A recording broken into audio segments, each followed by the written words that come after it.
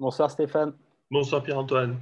Bienvenue pour un nouvel épisode de Regard Libre. Ce soir, on va parler bah, du repas de, Noël. Bonne chose. Qui est donc autorisé. On aura le droit de, sortir, euh, voir sa famille. Mais il y a des recommandations. Ah. C'est la, fameuse règle des six qui, revient. C'est le gouvernement. Donc là, ne peut pas vraiment interdire qu'on soit plus de six, mais parce que bon, je ne pense pas qu'il ait le droit de rentrer dans les domiciles privés. Quoique, on attend. Euh, ça viendra peut-être faire. Attends, attends, attends. Là. Non, non, là, c'est une recommandation. ah, bon, bah alors dans ce cas, ça compte pas alors, on s'en fout. Oui, ça compte pas, c'est une recommandation, mais moi, en fait, je voulais parler du sujet parce que donc, je vois un article du, du Figaro où en fait, les gens vont appliquer ces recommandations. Et ah, il y a des amis quand même. Ah oui, d'accord. L'article interview, enfin, le, journaliste interview des, des, personnes qui disent Ouais, je ne vais pas inviter plus de six personnes.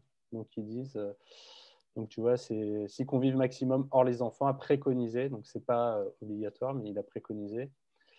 Jean, Castex. Et Je sens qu'il va y avoir des interprétations euh, extraordinaires de ce genre de texte. Et donc, il y a par exemple Léandro, 31 ans, qui dit La jugeote permet de faire le tri. Noël avec les grands-parents âgés malades, c'est non. D'accord. Normalement, la famille invite également oncle et tante. Il ne s'agit pas de blesser qui que ce soit, mais on comprend que tout le monde ne puisse pas assister à la soirée. Même argument chez la famille Morel, euh, où les jeunes ont décidé de fêter Noël et le jour de l'an entre cousins. De toute façon, on a toujours notre table à part. Au moins, on ne reprochera pas notre mauvaise volonté cette année. C'est pour le bien commun. Donc on a voilà le festival de, tous ces héros euh, du quotidien qui euh, ah oui, oui, leurs grands-parents. Là, euh, non, là on est oui, oui. c'est Captain America c'est clair. Ah, ah, oui. oui, Ah oui, oui. Ma sœur et son mari sont agriculteurs à la campagne, ils voient moins de monde, c'est donc mieux qu'ils restent avec mes parents âgés. Euh, voilà, donc euh, c'est un festival euh, de gens qui disent qu'ils respecteront cette recommandation. Et... Bah, écoute, moi je trouve que c'est très bien pour eux s'ils sont ravis de se faire emmerder pour le jour de Noël et qu'ils en profitent pour régler des conflits familiaux entre la, table des gamins et les autres. Bon, moi ça les regarde, très bien, mais mais euh, décidément, dans ce pays, il y a beaucoup de gens qui perdent le bon sens. À moins que tu sais, il faut pas oublier aussi, c'est peut-être le journaliste qui parle de ce qu'il veut et qui oublie la, majeure partie des gens qui ne sont pas favorables. Bah, c'est ce que je regardais et justement, et c'est dans cet article, on ne parle pas de, gens qui, qui seraient en désaccord avec cette ouais, Tu sais, c'est le bon vieux, il y a ce qu'on voit et ce qu'on ne voit pas, euh, que tu peux généraliser. Je, c'est quelqu'un d'autre, je crois, je, Pierre Lance, je crois, qui dit que la, presse fait, a plus d'influence dans ce qu'elle ne publie pas que dans ce qu'elle publie. C'est le même, c'est la même idée si tu veux. Hein. Et euh, bah, c'est pareil, c'est, très facile aussi pour un journaliste de publier ce genre d'exemples. Alors, est-ce qu'ils sont rares? J'espère. Euh, il est possible qu'il ne le soit pas, malheureusement. Mais encore une fois, il y a un travail journalistique fantastique qui consiste à dire bah, je ne vais parler que des gentils qui parlent, qui vont faire et puis qui vont en profiter pour régler leur linge sale en famille, parce que c'est manifestement de ça qu'il s'agit. ça. aurait été un peu plus malin de la part du journaliste de dire mais en fait, euh, cette règle des six, euh, elle pose tout un tas de problèmes. On ne connaît pas beaucoup, beaucoup de familles où on n'est que six à table à Noël. Ça peut exister, hein, mais.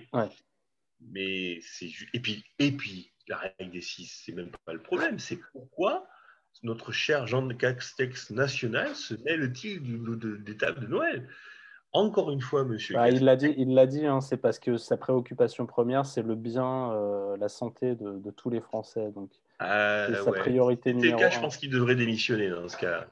Franchement, c'est ce qu'il aurait de mieux à faire. Non, je pense pas que ce soit son objectif à ce monsieur. Non, franchement pas. Euh... ce qui est bien, c'est qu'en fait, j'ai remarqué, les, les politiques ont beau dire des phrases qui sont complètement en désaccord avec leurs actes, les, gens croient, euh, continuent de croire ce que, les, ce que, les, politiques disent. Oui, oui, oui. oui, ils ne remettent jamais rien en question.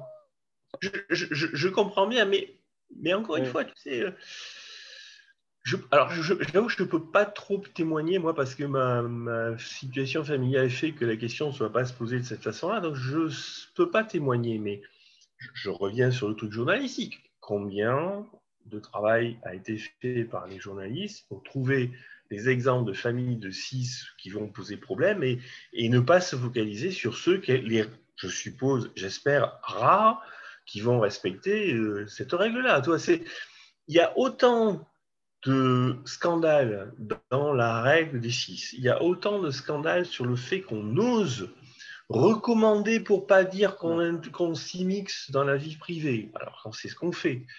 Euh, et en même temps d'avoir le journaliste qui rajoute une couche euh, en publiant ce qu'il veut bien publier et qui ne devrait pas publier d'ailleurs, euh, je pense que le problème, il est là. tu veux, on a, on a, il y a une connerie gouvernementale, il y a un monsieur Castex qui rajoute une couche, il y a des règles qui ne devraient pas être, et puis il y a les journalistes derrière. C'est juste, euh, voilà. Mais ça, mais malheureusement, ça traduit assez bien le pays, assez bien l'année que nous venons de vivre.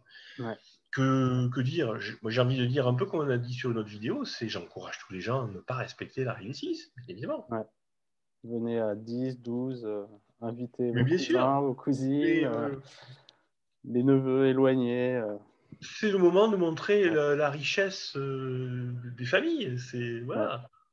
que la famille est la, la première résistance à l'État mais toute. Euh, on peut déjà au niveau de l'individu, mais en famille, euh, c'est plus, on peut être plus fort face à l'État. Tout à fait, tout à fait.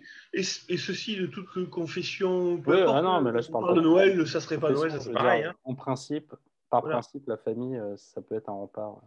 Et puis, il y, a, ça, mais il y a aussi chez soi, le gouvernement n'a aucun droit de, de s'immiscer. Donc, soyons plus de 6 jours de Noël et tous les jours, si possible. Ok. Bah, et comment font, c'est la question, comment font ceux qui ont de plus de gamins? Ah oui, tu vas me dire. Non, ils disent les gosses, ça compte pas. Oui. Ok, bon. Bref. Mais dès que tu as des grands-parents et un couple, tu es déjà 6, quoi. ouais, ouais, rapidement, ouais. bref. Non, mais voilà, ne respectons, ne respectons surtout pas les règles que nous demande de respecter le gouvernement. Ouais. Voilà. Très bien. Bon, ben merci Stéphane. Je t'en prie. Joyeux Noël. Ouais, joyeux Noël en avance. il y aura d'autres vidéos d'ici là, je pense. Salut.